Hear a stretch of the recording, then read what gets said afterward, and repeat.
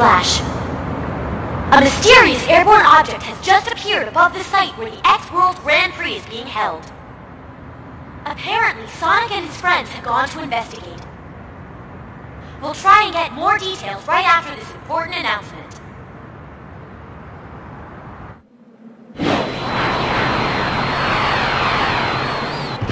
Oh man, looks like we have company. We gonna rumble?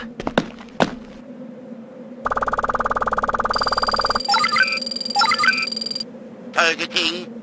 Targeting. Attack. Knuckles, now's not the time to fight. Smart thinking. Let's get out of here. Forget the red mutt. Let's go, Storm. Did she say red mutt? Why, why you? Hey, Knuckles, wait for me!